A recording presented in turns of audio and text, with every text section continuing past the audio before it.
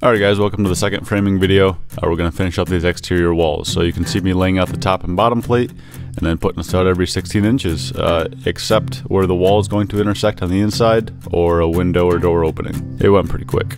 We just stood up these two walls. This is going to be our master uh, bathroom and closet wall.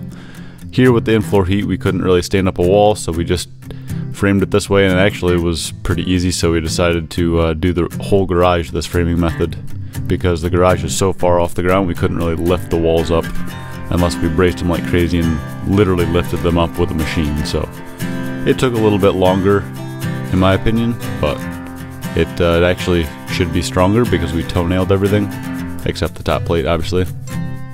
Alrighty, good morning guys. It is Labor Day. We're gonna do some labor. I'm pretty sure that's what this holiday is meant for. Not sure, but we gotta get this house done so we don't have a choice. It's lightly misting, so it's just like 101% humidity, which is actually really nice because nothing gets wet and you stay cool. All right, you can see us putting down the sill seal here. Uh, this is kind of just a pass code. We're gonna seal the outside with a product called R-Guard. It uh, bonds to concrete and OSB. So the sill seal is really just a pass inspection. Um, it is to provide a capillary break between the wood and the concrete. For air sealing, we're not gonna rely on the sill seal. This is a 8x8 door. This will be for the side-by-side -side in the back of the garage. Um, people have commented before about the size of the garage. It's a 30 by 40, but you guys got to remember we do not have a basement. So it'll be our storage room and just some extra space for us. Working off the skid steer is a lot nicer than my sketchy ladder. If you guys have seen the last video, I was standing on the top. Uh, it's not even a rung, but we made it work uh, no incidents. So we finally finished framing here at the front of the garage. We just need the top plates everywhere and the garage door headers. So we were so excited to finally get this step done.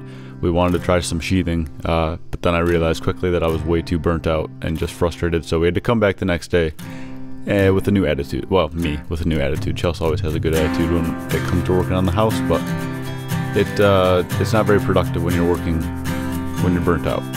Once we got a system down, it started to go a lot faster.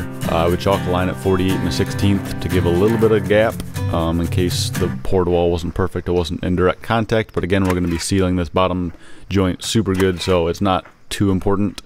Um, but this just gives us a straight line. We would plumb both ends of the wall to make sure it was perfectly square. For the second row, we would drive in a nail so that the sheet could sit on it with there being an eighth inch space because you don't want your sheathing touching. Otherwise, if it gets any moisture, it will swell and it will buckle. And you don't want your OSB buckling, otherwise your siding is going to look terrible.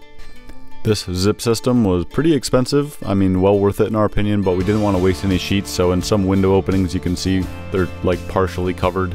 Uh, we didn't want to waste any sheets, so we're just going to wait until we're ready for windows and router out those openings. Putting this OSB on definitely was not our favorite. Uh, we knew we were going to have trouble with this doing it after the fact, but we just had to develop a system and kind of power through it because you need sheathing on your house. We just ran out of nails, but look at this. We got some sheathing up. If somehow you guys haven't seen this stuff, this is called Zipboard, uh, the Zip System by Huber. And essentially it has a waterproof and airproof membrane on the outside so that you don't need to do any Tyvek. Just put the sheets up and then you have to put a tape that's super sticky over these seams.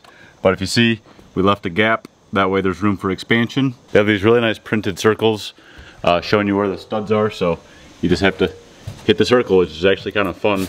Um, the only thing with these is you have to make sure you don't overdrive them. And I think on the website they say an, up to an eighth inch overdriven is okay. But let me see if I can find one.